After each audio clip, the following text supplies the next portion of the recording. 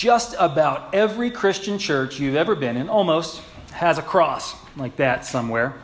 They are on necklaces all over the place, they are on billboards all over the South. Crosses can be so ubiquitous to the point that we almost forget what they mean. Um, but here it is it is a symbol. The cross is a symbol. We, we all know the reality of death. We don't have to discover that. We know the reality of death, but this tells us that there is a deeper truth to life. We all know the reality of despair, but this tells us that there is a deeper truth of redemption. We all know the reality of darkness, but this cross tells us that there is light that will always overcome. The cross comes from and speaks to the central story of Jesus and, and of the church, to the good news of the whole world, a world that is so full of pain, but our world spins on the very power that challenges evil and lifts up hope.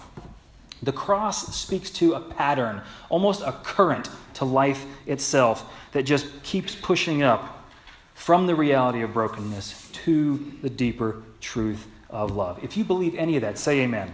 Amen. So, what does every other church have? Almost every church has a cross, and almost every church has a pulpit, something like this. This one is 100 years old, a couple weeks ago. If you look at the little plaque, I have no idea who that lady is, but it says 1916 that this thing was built, so that's kind of neat. 100 years, this church has a pulpit. Most churches have a pulpit where some fool stands up here and tries to remind you about hope and love and faith. That message of hope and love and faith, it is so easy to forget in a world that is just charged with harshness. And frankly, in too many pulpits, these sermons go on too long, or they're too judgmental, or they're just boring. And I hate that. I, I, think I hate it more. Anyone ever, here ever been a waitress or a waiter? Then you go and you can't, you can't help, but your whole life, every time you get waited on, you can't help but kind of think, oh, they did this a little bit wrong. They did that very well. That's me in a sermon. I listen to other preachers, drives me nuts. If you think you're critical of me, you should see me being critical of others. But listen, whether I'm good on one Sunday or boring on the next, there is nothing boring about the message that God is trying to bring out here.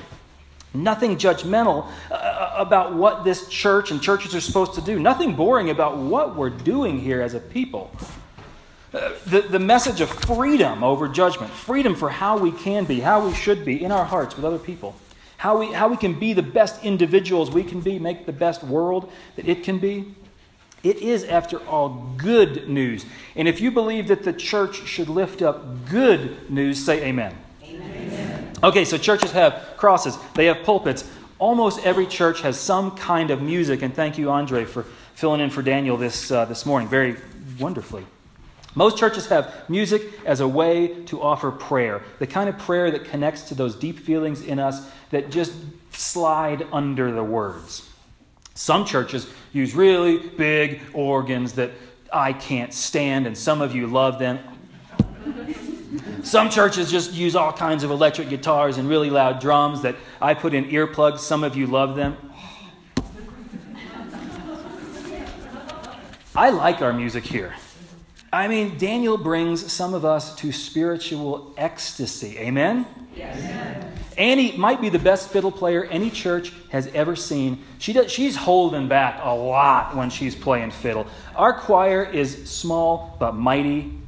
I hear that we need a variety of musical experiences because we all have different life experiences, different understandings of God, different ways to connect to whatever that is at the base of humanity that runs under words. So you keep telling me what music you connect with God with, and together we'll sink further in because every church has some music, just about, just about.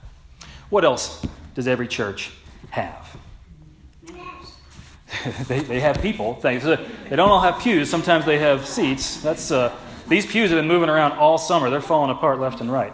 Most every other church has some kind of table, some kind of table next to the cross, next to the pulpit, next to the music. You see it all through the Bible tables. In the Hebrew scriptures, some characters in there, they build an altar, a very special table on which to worship God. Or they make sacrifices at a very special one table in the temple. In the New Testament, Jesus is always getting in trouble from eating with those people. The biggest question, biggest accusation Jesus always gets is why do you eat with those people, those sinners, those dirty folks, those poor folks, those gross and those alcoholic folks, those broken folks? Why do you eat with them? If that's the worst complaint that this church receives, then I think we're doing okay. Even after Jesus, the early church often meets by sitting around dinner tables, not in special rooms like this, without, without pews. They sit around dinner tables, just like this table. Right to the end of Scripture, one of the only parts of Revelation that any of us can actually understand is when it says that the heavenly life is like a wedding feast.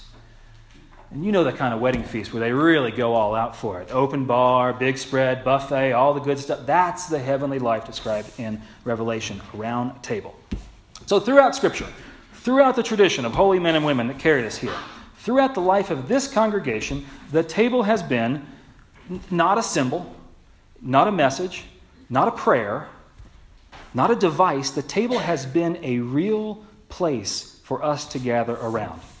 It is a destination to get away from the pain and stress of our regular lives and to come here for compassion, for acceptance, for renewal. We, we do more to remember these stories uh, when we're in this kind of place, but there we actually enact the grace that God brings to us. We do not simply remind ourselves of the truth, but we live into the truth of hope for here and hope for now. We do not merely feel the presence of God, but here we are sacred together. At the heart of our faithful tradition, the table means that we do not have to carry our difficulties and our worries in the perpetual chaos of our lives alone and confused. The table means we have a space, welcomed, not judged, supported, not embattled, for the rest of our lives, not the busyness of our lives, to refresh our lives on a holy journey. And if anyone here wants rest and refreshment in your life, say, Amen. There are other tables that are important to our lives. Let us consider some other tables that play a big role. How many of you, your lives changed absolutely and dramatically when you or someone you loved was sitting on an examination table. How many of you sitting on that kind of table heard a diagnosis and you knew that life will never be the same? And it's not always right. It's not fair. What can we do? Who do we turn to? That table painful. How many of you, the bills keep piling up and piling up, and you don't know what to do. So you make this little list. This is what I do. I make a little list of my income, a little list of maybe where I could find some income, a list of my expenses, maybe a list of where I can get rid of those expenses. And you sit down, the church does this too, and you sit there and you look at this financial table and you wonder, what am I going to do? It doesn't add up. No matter how hard we try, we can't get the financial table to fit together, and it is maddening and confusing and hopeless. And how can I trust that God is going to work out the finances? How can I rest if I have to work so hard to get the finances to work? Many of you, you've sat at a real table eating a simple dinner, two chairs, but you're the only one there. There used to be someone in the other chair. Uh, you've been praying that someone will be in that other chair someday. You've been crying because somehow something went wrong and now you're the only one at the table. Some of us have dealt with water tables that were so low and literal droughts, spiritual droughts. Others have faced flood tables too high, literally the danger of washing away or just being overwhelmed by life. Some of us have looked at our life and what it has meant. What have my years meant? How did it matter? What comes next? And the only answer that you come to is tabula rasa. It's just been blank. My life has been blank. What is my purpose on this journey? I, I, I don't know. My point to all these tables there are so many tables in our lives that lie at the root of such pain and difficulty and loneliness and fear. There are so many tables that bruise us and break us. But over six weeks now, we have building, been building one table, step by step, designed and built and standing by the very power that created and holds us now. One table that is a place of comfort and grace and community and hope there is one table that consistently holds us up to love and inspiration to love others. And Zacchaeus ate at a table with Jesus. This was a, there was an invitation to eat together, but it's one of those weird invitations. Jesus almost seems intrusive. He says, I'm going to invite myself to your house. People ever do that to you? What are you doing Friday? Let me come over. You want to cook for me? And this is kind of weird too.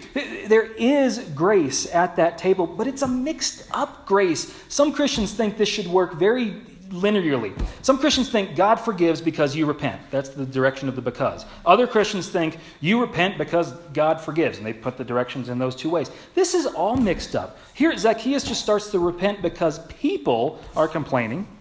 Or maybe because he's just in the presence of Jesus. Or maybe, who knows, he just wants to, he has that, he wants to pay back all his brokenness he's caused. But however it is, he starts to repent, and Jesus doesn't wait to see if the forgiveness is real. Jesus doesn't wait to see if he actually pays back two or fourfold. Jesus just says, You know what, Zacchaeus? You are a jerk, and salvation is here today. And those two are not mutually exclusive. And that is a table unlike most of the tables in my life. So I don't understand how God works at a table like that. I don't understand why we are drawn to tables like that, why we are drawn to climb trees metaphorically for whatever it is that we can reach out to have an invitation. Maybe the point is, is that I don't understand. I don't understand the mystery of what happens here. I don't understand how grace can happen when we come to this table. I don't understand how trusting that something's going to happen can make something happen. I mean, if I understood, if I understood how to fix my life, wouldn't I have done it already? If you knew that just working on your problems a little bit harder than you fix it, then you'd work harder and it would fix. If I could solve the problems of this town or this church or this world with just a checklist of things, I would get the pen out and start making checks. But it's never that straightforward. Often, we do not know how to get out of these cycles of frustration and despair. Often, I don't know how to accept love. I don't know how to get out of these ruts in my life of cynicism. I don't know where to find the strength to love those who hurt me. If you told me I could climb a tree, I'd climb a tree. That could give me an idea.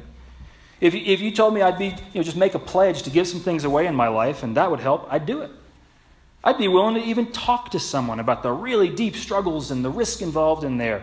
That would be hard, but I would do that. But what is even harder is to trust that something can happen out of my control.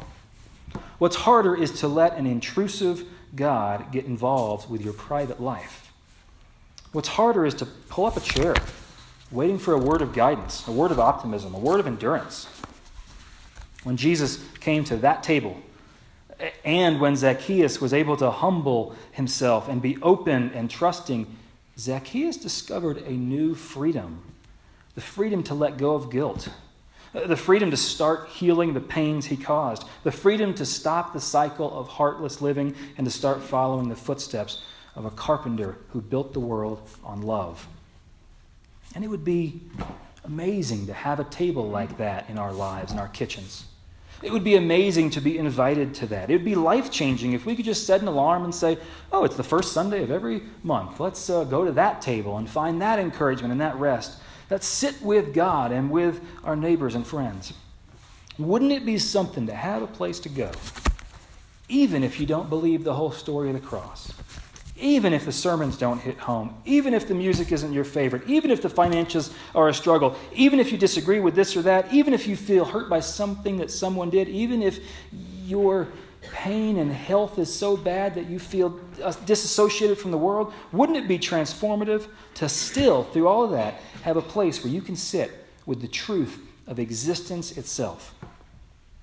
Wouldn't it be amazing if you could be as humble and open and trusting that you could feel the love of God that is flowing at you at all times so that you could sit with your struggles and fill your heart with a new sustenance of life? In a mysterious way, that is what God has built this place for. Let's sing two verses of our communion hymn and then share our time around the table.